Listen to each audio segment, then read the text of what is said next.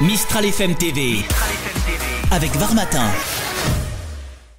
Alors la VAE c'est très simple. En réalité c'est c'est vraiment très simple. La VAE est une façon, une voie d'obtention d'une certification.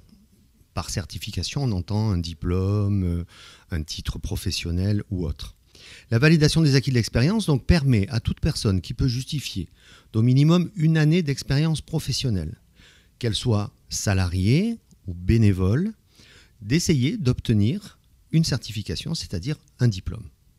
Alors, ce diplôme peut être obtenu dans sa totalité, si la personne répond à toutes les exigences en matière du diplôme, mais le candidat peut également obtenir ce qu'on appelle des blocs de compétences, c'est-à-dire des unités constitutives du diplôme. Tous les diplômes professionnels sont concernés, sauf les diplômes du secteur médical, comme par exemple le diplôme d'infirmière ou euh, diplôme de médecin ou autre, là effectivement, ce n'est pas possible. Mais tous les diplômes euh, professionnels peuvent être obtenus par la BAE, du CAP, en passant par le BEP, le BP, le Bac Pro, les mentions complémentaires et les BTS. Et nous avons un centre de validation euh, sur Toulon qui couvre donc tout le secteur toulonnais, y compris la Seine-sur-Mer, et on va jusqu'à Brignoles.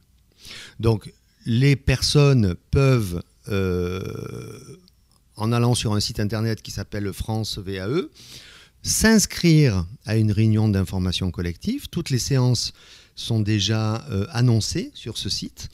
Les personnes s'inscrivent. Une fois qu'elles se sont inscrites, elles reçoivent une confirmation d'inscription et elles viennent assister à cette réunion. Mistral FM TV. Avec Varmatin.